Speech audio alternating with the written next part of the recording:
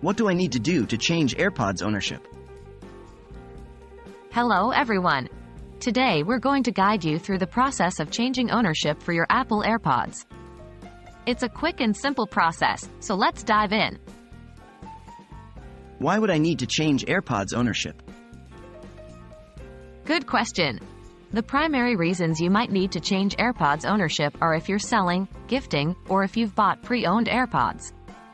Changing ownership helps to ensure that all the device's features function correctly for the new user.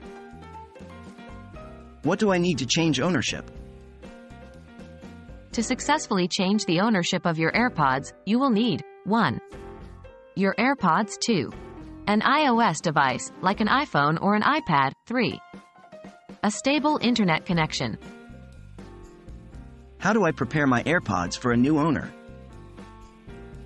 Before changing the ownership, it's essential to remove your AirPods from your Apple ID account and reset them to their factory settings. Here are the steps. 1.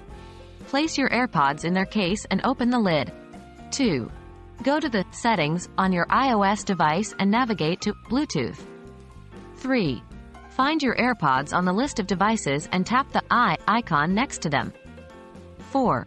Tap on Forget this device and then tap again to confirm. 5. Reset your AirPods by pressing and holding the setup button on the back of the case for about 15 seconds until you see the status light flash amber. How does the new owner connect the AirPods? After you've reset your AirPods, the new owner can pair them to their device. Here are the steps they'll need to follow. 1. Ensure Bluetooth is turned on on their device. 2. Place the AirPods in their case with the lid open and hold them next to their iOS device. 3. A setup animation will appear on the screen. Tap on Connect. 4. If asked, double tap to confirm. And that's it. You've successfully changed the ownership of your AirPods. We hope this guide was helpful and that your AirPods enjoy their new home. If you have further questions, please don't hesitate to ask in the comment section below. Happy listening!